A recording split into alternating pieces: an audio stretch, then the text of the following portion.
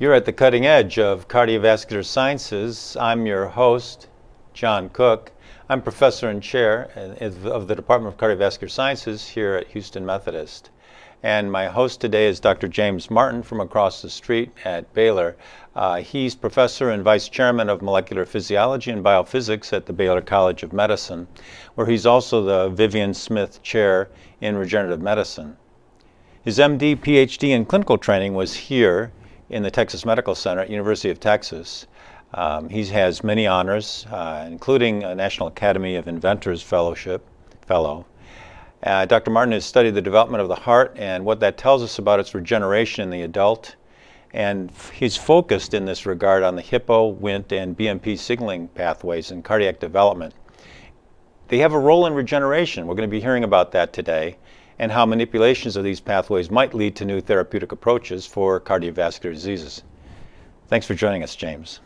Thanks for having me, John. It's great to be here.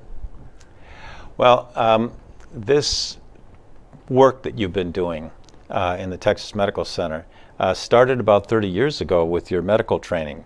Uh, tell us a little bit about that. Tell us uh, what you've seen in the 30 years you've been here in the Texas Medical Center. What's what's the same? What's changed?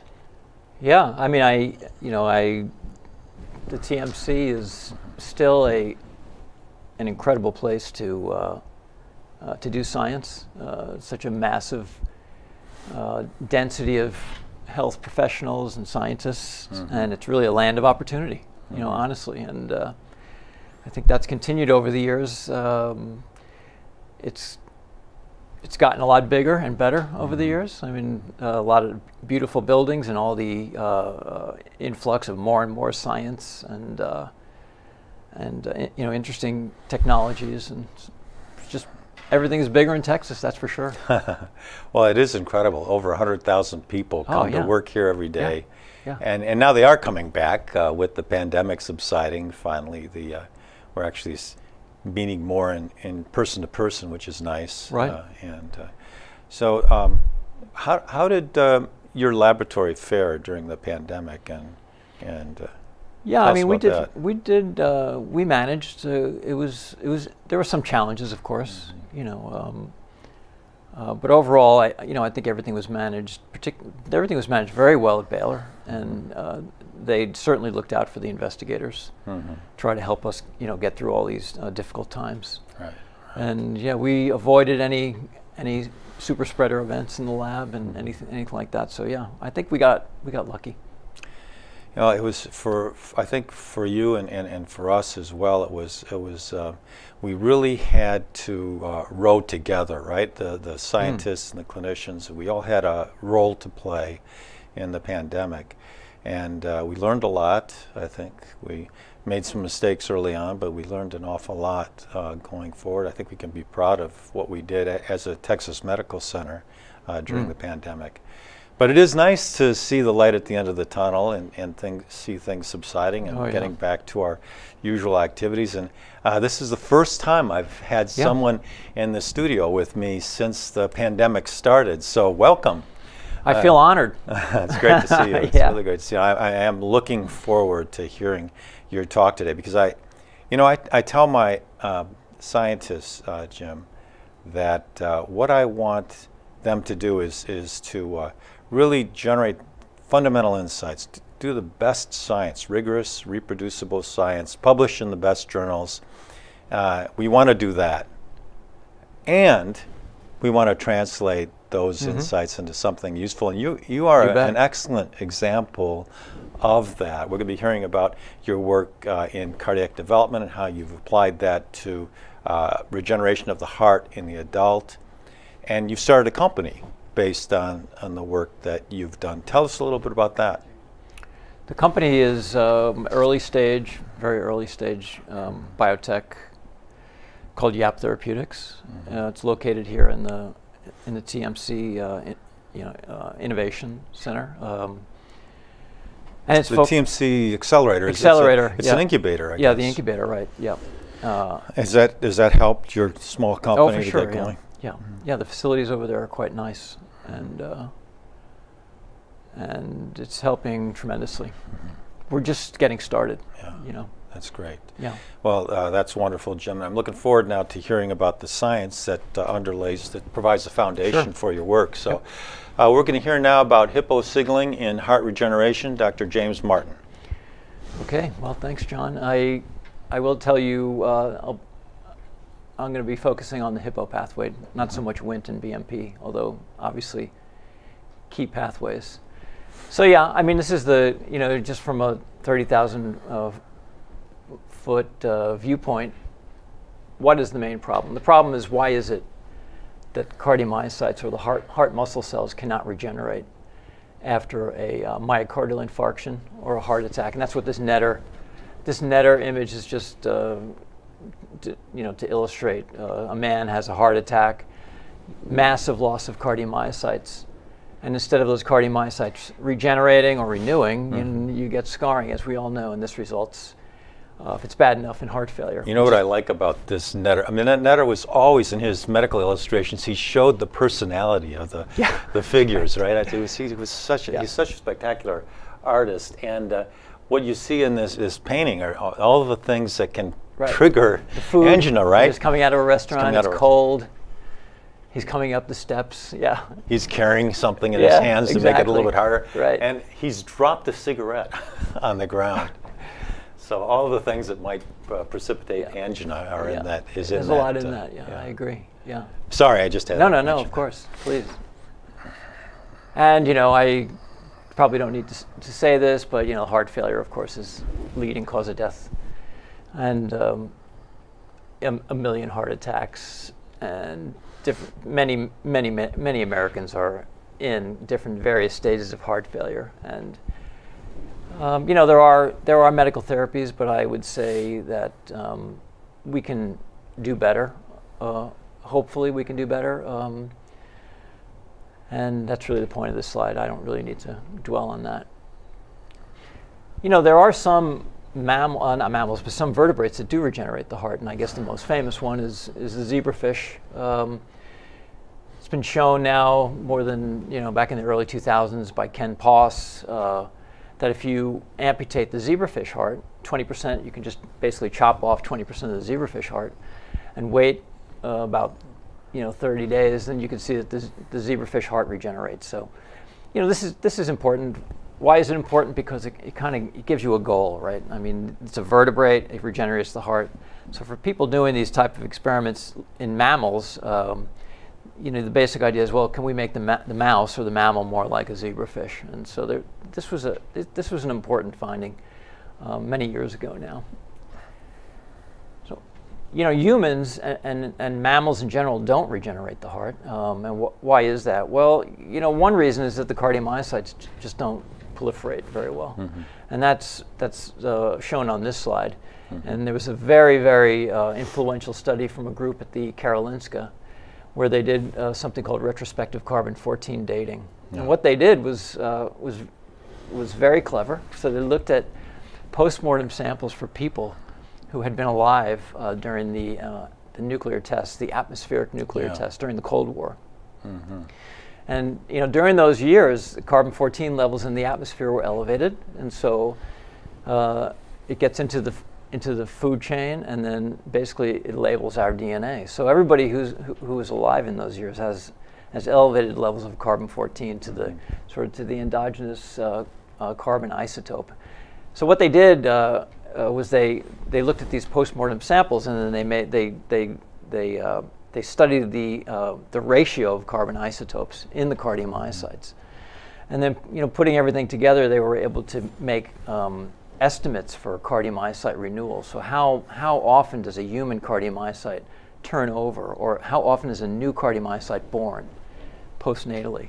And uh, it's low, as you might expect, right? So it's one percent per year when you're young. So if you're a 20 year old, you don't get much cardiomyocyte renewal, and it gets it gets even worse. And the clinicians, I'm sure, uh, will recognize that uh, heart failure in older people, you know, is a, i- i- i- it's a big problem. And the re- one reason for that is because cardiomyocyte renewal. One likely reason for that is cardiomyocyte renewal, already at a low rate when you're young, is now even lower. It's about half of that. You know, so the idea, one of the ideas is, well, how, what can we do to try to make cardiomyocytes more renewable. And maybe I'm anticipating something you're going to tell us about, but um, and and you mentioned that uh, when we're younger, we can generate more cardiomyocytes than when we're older. No, we're not generating much. You Right. said one percent per Right. year. My my understanding is that in um, mice, in neonatal mice, uh, there's also some regenerative capacity too. So uh, even in mammals, there's there's uh, some regenerative capacity. What about what about um, uh, when children are operated on uh, in utero? Um, my my understanding is that they have tremendous regenerative capacity. Uh, Well, certainly, yeah, you get scarless, uh, uh, you get scarless wound healing in, Right. in that context. Yeah, right. Yeah. Um, uh, I think the issue of the, uh, the the capacity of the of the neonatal uh, mice, and also there's the evidence that neonatal humans also have that regenerative capacity. It's Right. anecdotal, of course.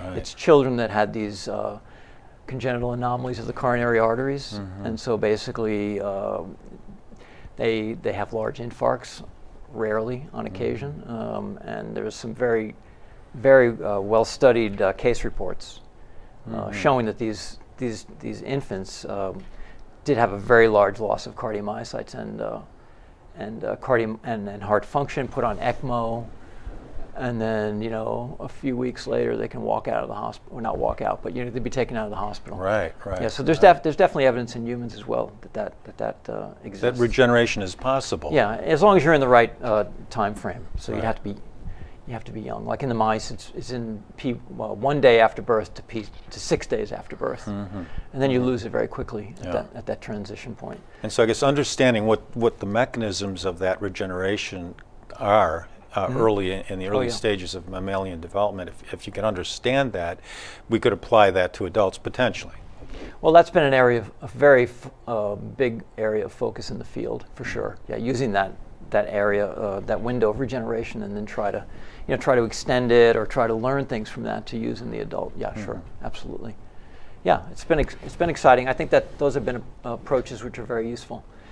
So, I mean, basically, you know, just to think about this in a very simple way, are there genetic reasons or there are there g- genetic pathways that are inhibitory that prevent cardiomyocyte renewal? Mm-hmm. You know, it also could be possible that something is missing, mm-hmm. but it could also be possible that there's inhi- an inhibitory. And so what we discovered is that it is an inhibitory pathway. So mm. that's really what I'll, I'll talk about. And then, you know, and then can we manipulate that inhibitory pathway in a beneficial way? And we, you know, we've been taking the we've taken the approach uh, of using gene therapy, mm-hmm. A- AAV mediated gene therapy, which is a very, you know, another exciting and active area uh, throughout the world. You know, the, these uh, adeno-associated viruses. Uh, you know, the whole story, as you mentioned, uh, uh, starts out in development, but it even goes farther back. And The, the hippo pathway is, uh, is an organ size control pathway, which was discovered in Drosophila. You know, as many of the great discoveries uh, have been made in, uh, in, in the fly, you know, very simply and very true. And hippo was one of them. So if, if you know, in screens, you, they, uh, many investigators uh, pulled out different genes in the pathway, and uh, you know, with loss of function, you get a big head and a big thorax, which is shown right there on the right with- in that hippo mutant uh, fly. The hippo pathway, uh, the fly is on the left. It's a it's a kinase cascade. So there's a core com- component, uh, a core group of, of proteins, which are shown there in the middle. I don't. Do I have a? Oh yeah, I do. Okay. These these are the core components right here. Uh, hippo hippo kinase as well as uh, uh, warts and some other genes here that are adapter molecules. Um, you know, the, the pathway is complicated, and uh, it actually gives us quite a quite a few targets uh, to look at to try to manipulate the pathway. So um, you know, that's actually a good thing. Um, you know, there's this is the mammalian pathway. The mammalian pathway looks very similar to the fly pathway. It's a it's a kinase cascade which is activated by events which are happening outside the cell. Physiologic inputs come into the cell through different types of receptors. They activate the kinases, and then those kinases phosphorylate a, a, a factor which is downstream, the downstream effector. And the most famous is, a molecule called YAP. I mean, YAP is being extensively studied all over the world. When the kinases are active, you know, YAP is excluded from the nucleus. When the kinases are low, then YAP can move into the nucleus, and it's a transcriptional cofactor. Basically, it's a very strong signal that drives proliferation of a cell. Mm-hmm. So, you know, just to think about it, since we're not really going to go deeply into this, it, the very simple way to think about this is that the hippo pathway, the kinase cascade, is a stop signal. Mm-hmm. It, it receives signals from outside the cell. One of those classical signals is cells in a high density environment, shown mm-hmm. right here. That turns up the stop signal, and, and, and it tells all those cells that are in a high dense, this high dense environment to stop proliferating. You know, so we, we knew this. Uh, this was, this is, these are concepts that come out of the fly work. Mm-hmm. And so we, you know, we started looking at this for various reasons uh, uh, in the context of, uh, you know, of mammalian development now. Can I ask you a question? Yeah, sure, please. So, what are the signals that the hippo pathway is, uh, uh, is receiving? Is it contact with other cells? Is it some paracrine substance yeah. that's being released? Right. What, I would say, yeah, I think those are good points. I mean, that's a, you know, if we can understand what those physiologic inputs are, then we can try to manipulate the pathway. You know, the matrix density and the con- and the characteristics of the matrix, the mm-hmm. extracellular matrix, that's very well well uh, defined now. That there are there are components like you were mentioning the neonatal mm-hmm. heart. The matrix of the neonatal heart is different from the matrix of the adult heart. And there are specific components of the neonatal heart uh, extracellular matrix, and in particular a molecule called agrin. Hmm. And agrin is not there in the adult extracellular the matrix. And agrin actually is very important for that neonatal cardiomyocyte hmm. uh, uh, regenerative capacity. So agrin fits right into the hippo pathway. Interesting. Cells are very sensitive to the matrix. absolutely, absolutely. Yeah. The, the, the, the, not the, you know the, the the characteristics. So is agrin there? Is it not there? But also, you know, the, how stiff it is and things like that. These are yeah. all these are all very important regulators of hippo and yap. Just a little uh, segue. The, the uh, Helen Blau had a actually the first author was Penny Gilbert, a science paper. Uh, I don't know about 12 years ago or so. Um, they solved a problem that, uh, and you may know this, the, the muscle uh, stem cell physiologists were having. It was very difficult to grow muscle stem cells mm. in in culture, mm. and because um, they were growing them, it turns out on a rigid, matrix. on a rigid, on, rigid. on, on plastic. And yeah. and uh, when uh, Penny Gilbert started growing them on hydrogel, uh, they maintained their stem cell mm. properties. Oh, okay. So the ability for stem cell renewal, at least muscle stem cell renewal, is highly dependent upon the rigidity of the matrix. Uh, so supporting what you just said. Yeah, yeah, yeah. I mean, I think that, yeah, I think that that is sort of it's a fundamental aspect of certainly of you know this system for sure. Yeah. Yep. Okay, so yeah, we, you know, just going back a little bit in history now, this is a, one of our first studies that we published back in 2011. Just like in the fly, in a developing heart, you can the hippo pathway, the stop signal. If you take the stop signal away in a developing cardiomyocyte, you get a big heart.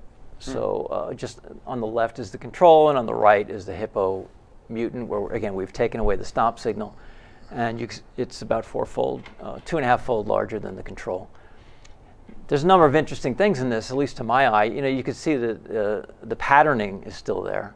It's not like you get a big tumor. It, you know, you you can still recognize a very well-defined heart, but right but uh, you know it's it's bigger. So yeah, I mean it's it, it's just like uh, it, this particular function of the hippo pathway is conserved all the way from flies into hmm. into mice and most likely into humans. But of course we will probably never know that in humans. But uh, you know this is this was this is quite interesting. Very interesting. Is, yeah. that larger heart functional?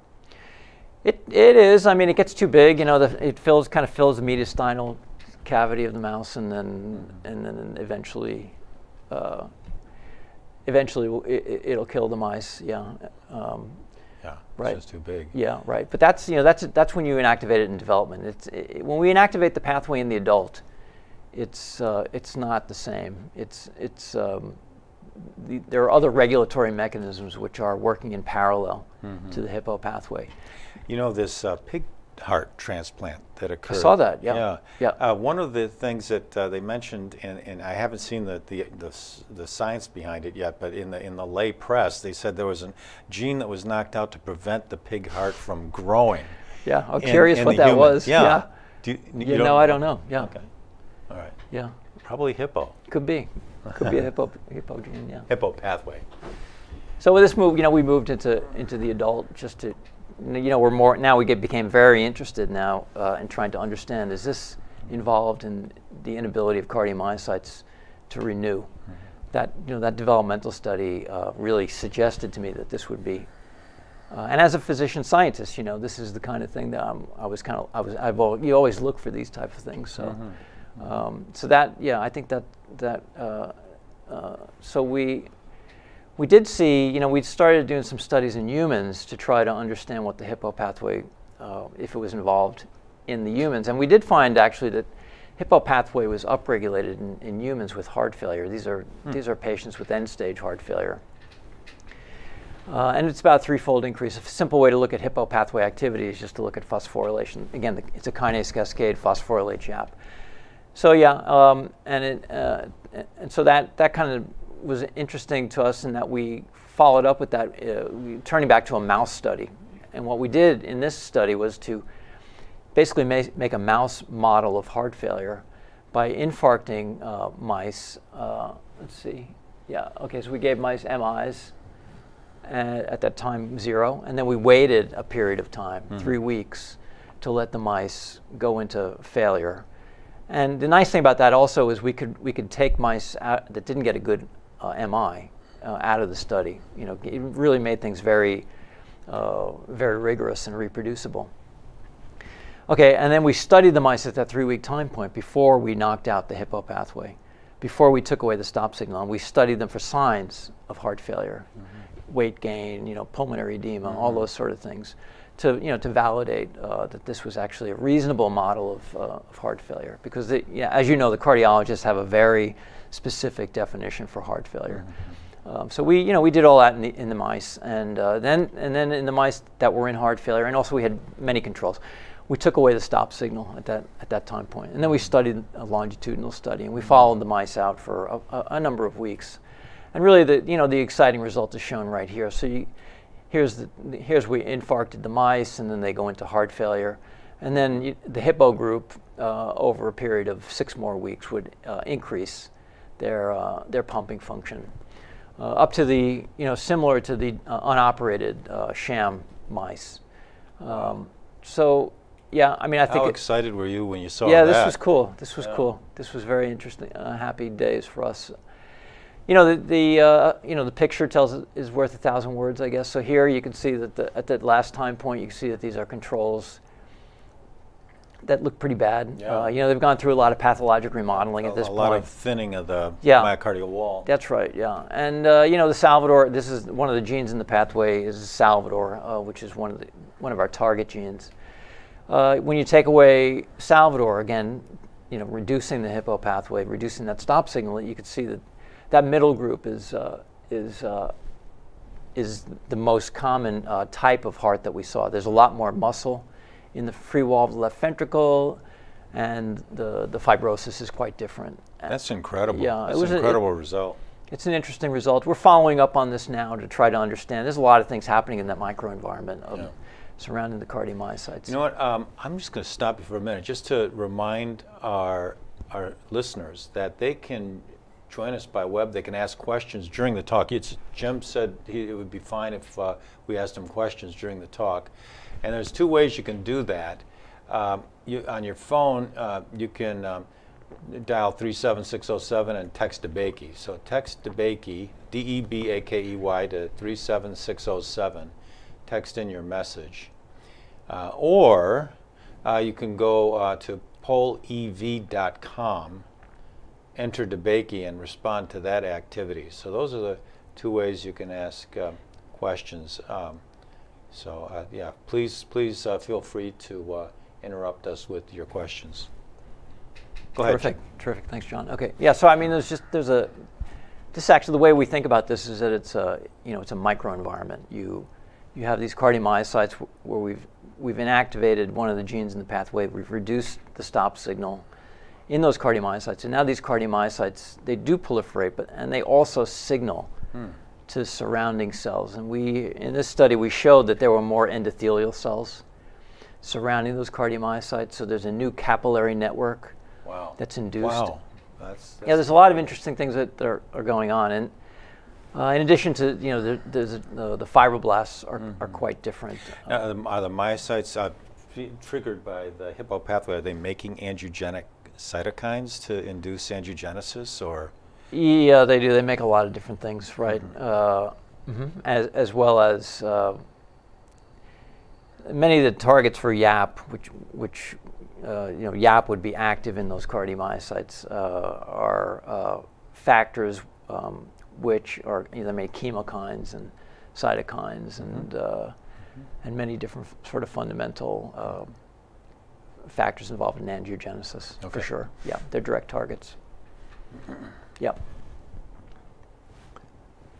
You know, one of the things that we, we get asked quite a bit is, you know, is it is it bad to take away this, the hippo pathway? The stop signal is there for a reason. So when you do this, is it, uh, you know, does it keep growing or is it self-limiting? Does it stop? And uh, you know, it, it does stop. It's it is self-limiting. I, we have uh, some other data I could show briefly, but I think this really makes the point. So this is the same study where we infarct the mice wait three weeks, and now in this case, we're following out, out for a period of 17 weeks, a little bit longer of a follow-up. And you could see that the controls start to drop off with, as they remodel more, but the uh, Salvador knockouts, we really don't see any changes. So it does become stable. were, were, Jim? Were these young mice, or middle-aged mice, or old older mice? Uh, these were- are, yeah, these are approximately two month old, so they're not that old. Uh, yeah, they're adult for sure. Um, They're they're younger adults. They're so- younger adults, right? Yeah. Okay. Those are studies that those are quite important studies, and you bring up a, a very important point because the patients that we are going to be thinking about are older. It's Mm-hmm. an older human population, right? That's in heart failure. So we are we're looking at that very carefully now. What Mm-hmm. we know what happens. You know, I would say the preliminary evidence would say that they it, it's for the most part it's very similar. There are some subtle differences that we that we're uncovering, and mostly um, as you might expect in the old heart. Yeah. There, Okay. are, there are some differences, yeah. Thanks. Yep. Uh, you know, uh, as we mentioned and we've talked about, we'd like to, we want to translate these things. We don't want to be, we don't want to be mouse doctors necessarily. Obviously, the mouse is a, you know, is an incredibly valuable uh, model system. Uh, but we'd like eventually to take, well, you know, what we're doing into into the patients who need need more options. You know, heart failure patients, many don't have the options that uh, would be op- optimal. So, so we made a gene therapy, and in this case, what we did was we uh, it's an adeno-associated virus uh, using a capsid that is tropic for uh, muscle. Uh, hit, it hits uh, cardiomyocytes pretty well. Uh, and what we did was we introduced, uh, we have a cardiac troponin T promoter in the, in the uh, transgene that's uh, carried by the, uh, the virus, as well as uh, we put a GFP in this case, as well as some shRNAs against uh, one of the genes in the hippo pathway. Again, the basic idea is we're knocking down the, the stop signal.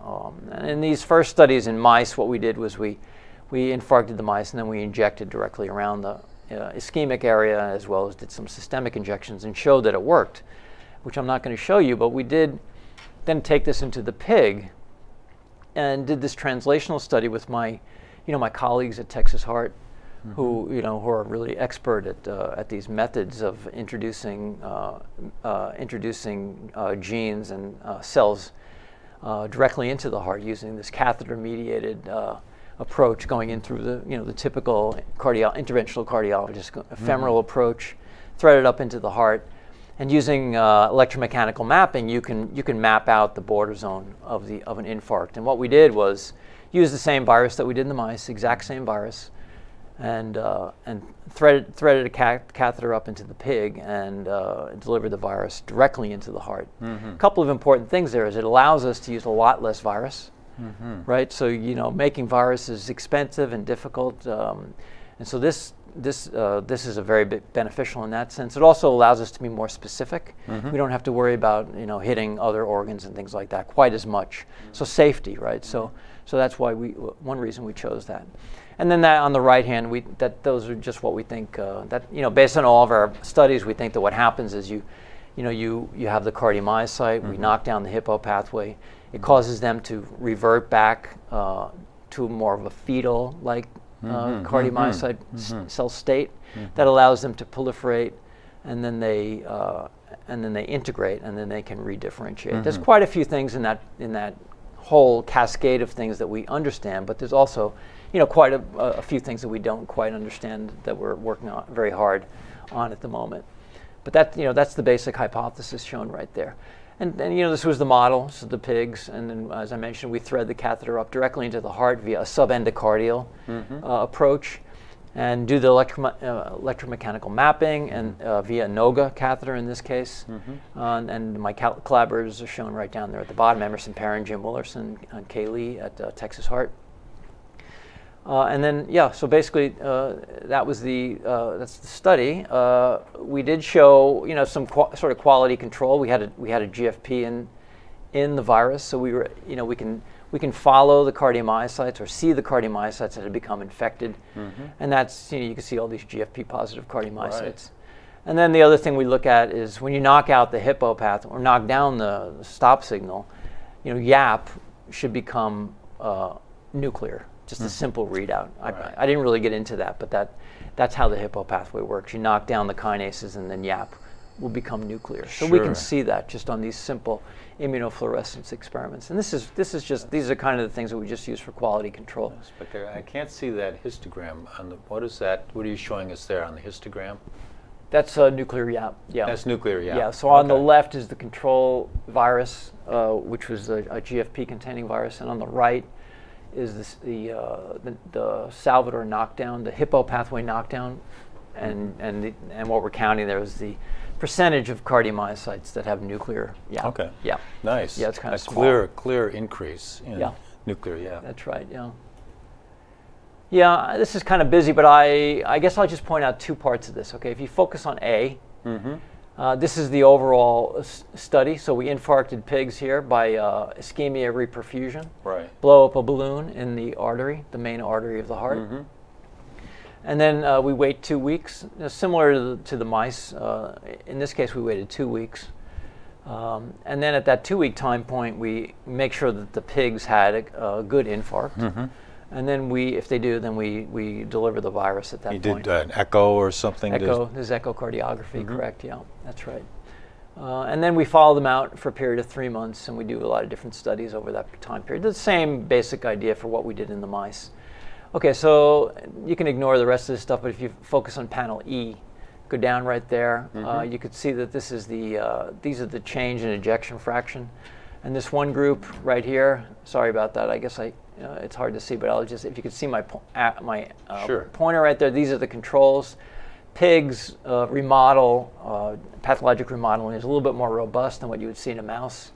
They don't have a lot of collateralization. Um, uh, that's you, a change in ejection fraction. Yeah, exactly, mm-hmm. right. And then you can see that these are two different different doses of the uh, Salvador knockdown, the hippo mm-hmm. pathway knockdown. This is a low dose, and this is the higher dose. Mm-hmm. And wow. we do we do see an increase, uh, you know, pretty substantial, yeah. significant in- increase con- compared to this over this. And even if we compare the high dose over the uh, the uh, the initial time point, we do see, uh, you know, we do uh, not just comparing to the control, but comparing to that time zero, we do see a statistically increase uh, in- increase in ejection fraction. The basic number is 14 percent. So we've seen an increase of 14%. That's that's yeah. that's remarkable. Yeah, yeah. Um, and and it's very promising considering the pig heart is an awful lot like the human heart. Correct. Yeah. Uh, very very clear, very yeah. nice uh, data. It looked like you, it looks like you have what about a 30% decline after in the ejection fraction after the heart attack when you start to give the. That's about right. T- at two weeks. That's right. Yeah. When you start to give the uh, uh virus and then uh, those animals that get the, the viral treatment, uh, the AAV treatment, their ejection fraction is improving, mm-hmm. whereas the animals that get placebo, they continue to decline. Correct, yeah. Yeah. You know, so there's a couple of things. I mean, I think um, uh, clearly we've stopped, or not stopped, but we have changed trajectory. We've, uh, we've certainly inhibited pathologic remodeling, mm-hmm. which, uh, which I can, I'll show you on some slices on the next Next slide. Uh, we do have evidence that we've made the cardiomyocytes uh, divide mm-hmm. using different uh, different markers, and mm-hmm. we also know that the cardiomyocyte division is self-limited, just similar, very similar to what we found in the pigs, using this this uh, you know this very translational approach. Here's the evidence that, that we can actually see cardiomyocytes divide. the key point here is that when a cell, any cell divides, there's a protein uh, called Aurora B, which is very important for that cell division process. And when, a when any cell divides, there's always a little bit of Aurora B left between those two cells that have just divided. And it's called the mid-body remnant. And if you can see that, then you can, be, you can feel very confident that those two cells have divided. And you could see, you could see uh, in this, this, this cardiomyocyte right here, where is my, there it is. Can you see it? Yeah, Yeah. right here. Okay, this guy. That's, uh, that's a, those are two cardiomyocytes, and then the arrow is on the aurora B. Nice. Yeah, and so you can see these that, those cardiomyocytes actually look pretty pretty good. You know, they're pretty rectangular, pretty well Yeah. well formed. The other ones are you know are, are not as well formed. So the uh, they they're definitely cardiomyocytes. We can see that, but they, they have a little They're bit. immature. They look like they're a little bit more immature. Yeah. And and uh, it'd be interesting to know if those same cardiomyocytes will, you know, ultimately would mature. Correct. Yeah. That's, That's, going right. to be important, obviously, for their contractile function. Yep, that's right. Yep, yep, that's right. This is a, you know I, the way we think about this is it's kind of the you know the first shot across the bow. This is the first. We have our foot in the door now. Yeah, yeah, it's You know, very exciting. There's a bunch, and then with this idea that they're self-limiting. If you look at this time point at 45 days post-MI, we do see quite a bit of the mid-body aurora B. But it, uh, at the at the 104-day time point, it's almost all gone, which is Wow. shown. That's what's yeah, shown I see right that. here. I yeah. see that. Yeah. Um, here's another thing. When, when you, I, I can imagine when you, if you have, I'm seeing these immature cardiomyocytes uh, behind me. Uh, do you have arrhythmias? So you might think that immature cardiomyocytes might be more prone to Yes. arrhythm, Yeah, we, arrhythmias. we actually have submitted a paper recently showing, we went back and looked at that question. We put telemetry devices into the pigs, Uh-huh. repeated the experiment, and we can show that the arrhythmias actually are shut down more quickly in the Salvador knockout as compared to the, so, so oh, okay. yeah, right. So, uh, uh-huh, yeah, Interesting. yeah. It's spectacular. It's uh, really uh, spectacular results. All right. What's next? These are the s- slices through the uh, uh, th- through the uh, hearts. So you can see these are the controls. Uh, Mhm. Right here, they have a nice scar, and in the Salvador uh, knockdowns, uh, uh, the scar is less, uh, and uh, and basically uh, remodeling has been uh, has been improved quite quite significantly if you, if you if you measure scar area, Nice. about Yeah, twelve. that's very clear. Yeah. Okay. Yeah, so that those are the. I think those are really the bottom, the bottom line. Uh, you know, the one more thing I thought I would show is, you know, you can measure endothelial cells, the microvasculature, uh, Mhm.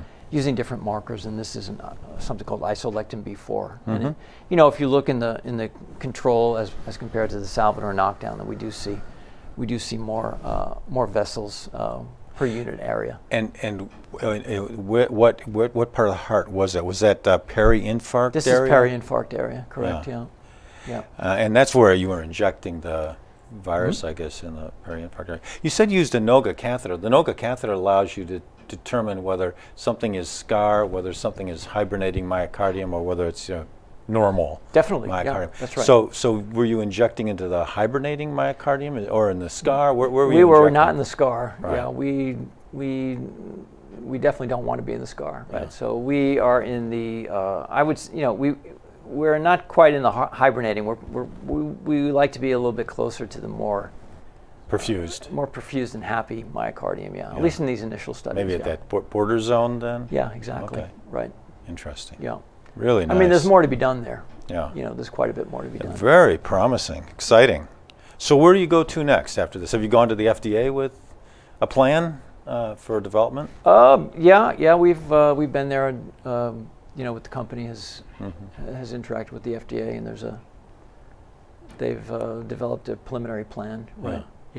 Perfect. Yep.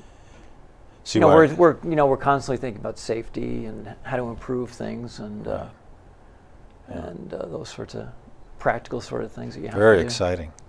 You have a summary slide here on. Yeah, just you know, just this is the way we think about things. That there's, you know, if you want to think about what happens, that there are discrete events. We think that there is this element of sarcomere disassembly. Mm-hmm. You know, which I, you know, we I'm talking about it here as dedifferentiation. And this is something that has to occur if the if the cardiomyocyte is going to start to proliferate. There's going to have to be some. Yeah, that's right. The structural block has to be released a little bit. Right. So Yeah, right. sarcomere breakdown. This okay. is one, you know, one of the characteristics of a cardiomyocyte is this Mm-hmm. very, uh, you know, very well uh, and uh, rigid uh, cytoskeleton, Yeah. as you know. So that has to be modi- modified a little bit. And then, of course, you have to have a little bit of cardiomyocyte proliferation. There's an aspect of, uh, of inflammatory um, control here as Mm-hmm. well, something that we're, we're uh, studying very carefully right now. And then, and then there are changes in the cardiomyocyte cell state. You Mm-hmm. know, these cardiomyocytes have they become more i have i'm pointing out the fact that they make protrusions but the bottom line is that they become a little bit more fetal like and then we we you know we know or we believe uh, and we know as well as we can at this point that those cardiomyocytes do uh, redifferentiate to a certain extent yeah. Yeah. You know it's a big question. These are as i pointed out you know we do have a very good handle on some things. Maybe uh, you know we're, we're still working on uh, understanding in great depth these other areas. But i you know these these uh, these are all uh, you know these are all, all therapeutic uh, uh, uh, candidates right? If you can understand some of these things you can manipulate it and you can you can try to things make things even better. Yeah. Absolutely.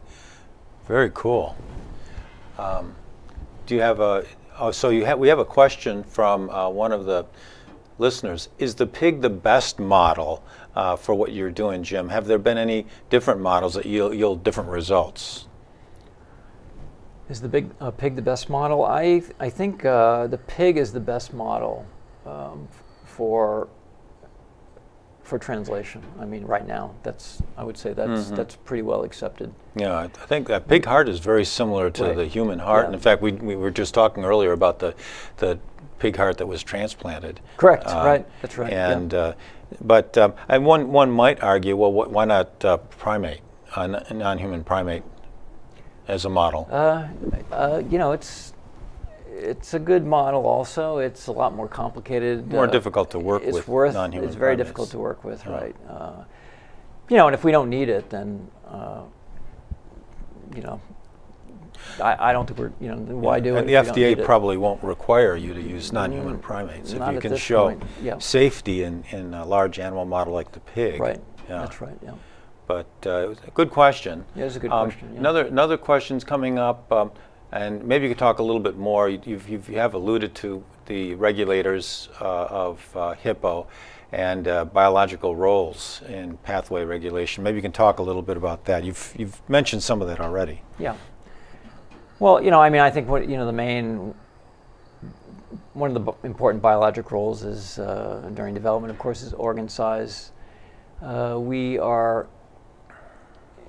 It, it, it's important for tissue homeostasis. Um, we know in ma- many cells that if you if you take away the hippo pathway, that the cells will will fairly dramatically change their cell state and transition into another uh, you know another cell type. For example, uh, fibroblasts. For example, the hippo pathway plays a very essential role in maintaining the resting state of a fibroblast.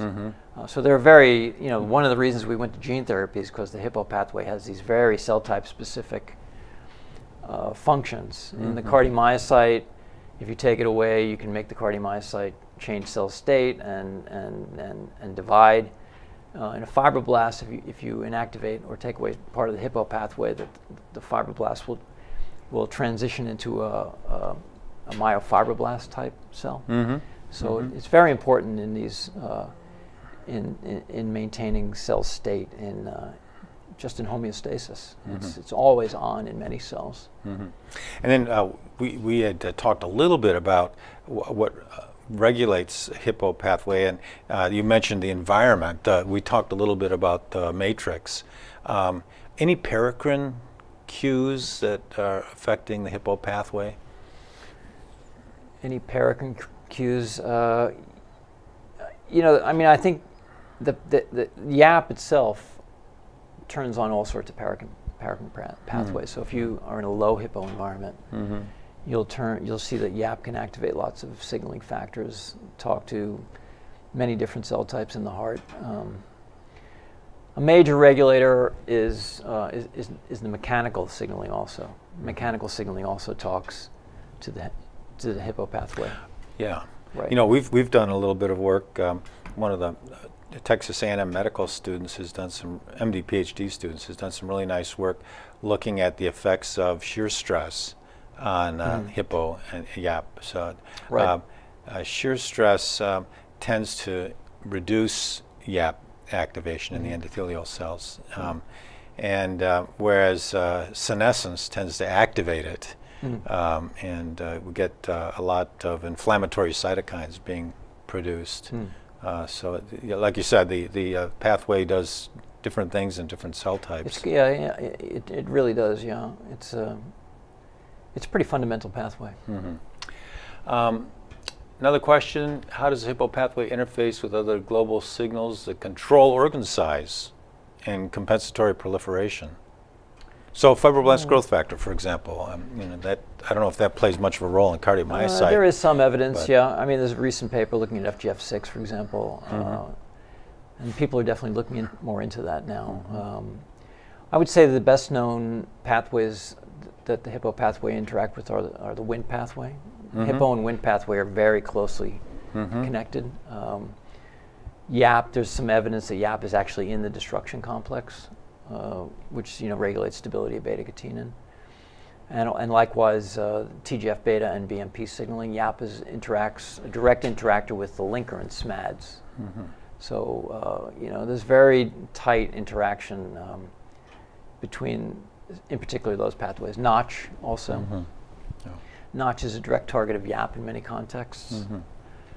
Yeah, so I mean, it's fundamental. It pretty much interacts with most important signaling pathways in various ways. One of the th- processes that you were talking about that plays a role in cardiomyocyte proliferation, regeneration of the heart, inflammation you mentioned is, is one of the key. And, and certainly uh, in, inflammation, uh, in, inflammatory cells play a role in, in uh, healing, uh, the, the M2 uh, monocyte, for example, but also innate immune uh, s- cellular activation. We, we've, we've studied that. Uh, the um, pattern recognition receptors on on cells that recognize damage associated molecular patterns or pathogen associated molecular patterns that trips a pathway that uh, increases cellular plasticity also and may be involved in uh, the regeneration that you're seeing. Is, yeah, it's very likely. Yeah, I agree. yeah, is is uh, is the YAP pathway? How does the YAP pathway uh, integrate with um, with uh, inflammatory pathways? Yeah, it's tightly. You know, it's still something which is, um, which is, I would say, at the early stages of investigation. Uh, you know, YAP directly regulates um, molecules like IL six, for example. You know, so sort of again these sort of these basic. Uh, uh, factors which signal directly to And, and YAP it increases IL six generation. Yeah, so that would Yep. uh, increase in, right. in inflammatory response. exactly right. Yeah. Um, the uh, someone's asking you to talk more about YAP and TAZ. I think we're doing that. Um, and what role does the pathway play in adult homeostasis, abnormal growth? I think you've been talking about some of those things already, but Mm-hmm. Right. anything more that you'd like to? Uh, you know, I think um, anything more? Yeah, I'd Anything like to we have we've missed? I mean, I think it's a great pathway for manipulation. I think we, you know, we have uncovered this very exciting uh, potential mechanism, or not potential, but it's a mechanism for making these cells uh, de-differentiate and proliferate cells which were thought to be uh, terminally differentiated. And it's also been, you know, it's also there's some other research now the hair cells of the inner ear, likewise, um, as well as retina. Also, maybe you know the hippo pathway is also involved in in, in, those tissues. Um, the mechanisms are not exactly the same; they're a little bit different, but uh, nonetheless, it's still there. And if you inactivate hippo in those contexts, that you can make a uh, a mammalian retina Yeah. regenerate. Wow. So I think you know that this opens the door to a lot of new potential therapies for these, you know, for blindness and uh, you know and deafness. Uh, yeah. That's spectacular. So a Yeah. lot of potential regenerative medicine applications of Yeah. manipulating this pathway. So you're just at the very beginning. It's the beginning. Um, yeah. So, um, uh, in that regard, uh, I think the FDA is probably going to be most concerned about safety. Um, what are the safety concerns about um, you know, activating this pathway, activating YAP? I think you know. I think the ones we hear the most are you know, is it are you going to get too much cardiomyocyte proliferation? Mm-hmm. Pretty sure that that's not the case. We've you know we've looked carefully at that. We look continue to look at that.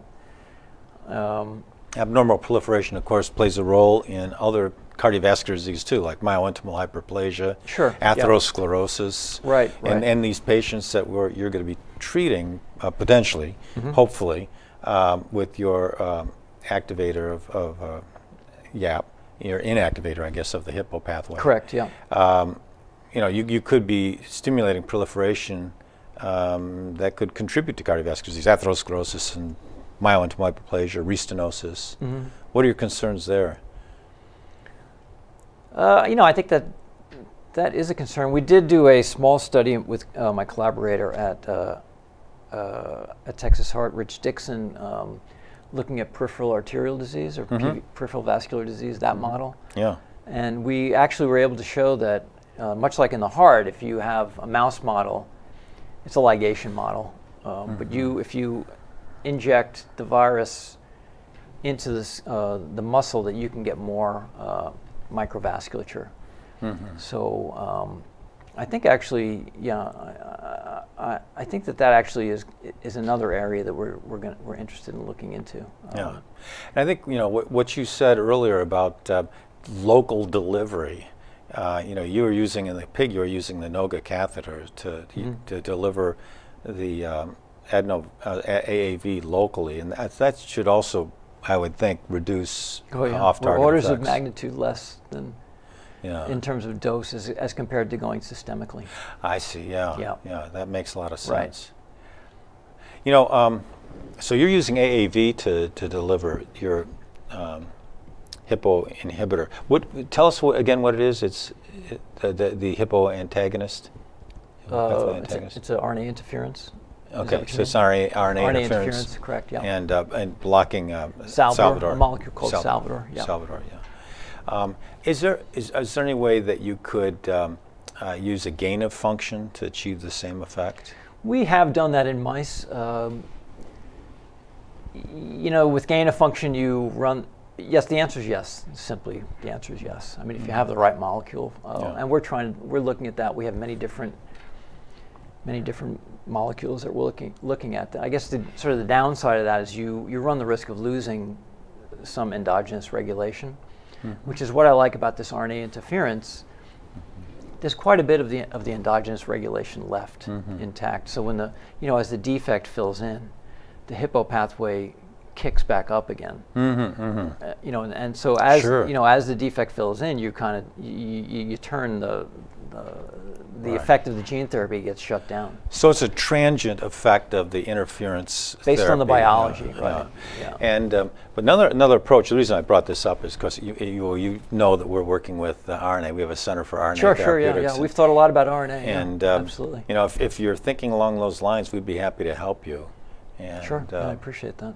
So uh, just uh, t- you know, if, if that uh, if that yeah, I is think that, something you, know, want to do, I think please. they're very interesting, right? And Yeah. you know, and, uh, you know, nanoparticles delivery. Mhm. I think there's a huge amount of work being done on that throughout the country. Certainly, Right. you know, even in the world, a lot of people looking at those things. So Yeah. yeah, I think that, yeah, I think that those technologies are very interesting. Yep. Well, we're coming to the end of our time, uh, and uh, as I see uh, no other questions uh, coming up, uh, Dr. Martin, I'd like to thank you for being on the show tonight. Uh, we uh, you, learned Dr. an Cook. awful lot from you today, and I really hope you're successful. We need a new th- a therapeutic approach to heart failure, and uh, this one looks very, very promising. So we learned tonight about the hippo pathway and uh, about regeneration of the heart. Uh, my guest uh, tonight uh, gave us a, a great education. Uh, Dr. James Martin, thank you again uh, for a wonderful uh, presentation and uh, best of luck in your work. Thank you. Thank you, Jim. Great job. Thanks, John.